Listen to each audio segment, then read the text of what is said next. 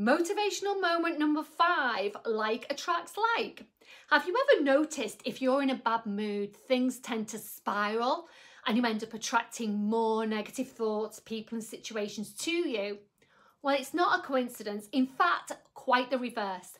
Like attracts like is a universal law. Whatever energy you put out, positive or negative, you will attract more of the same back.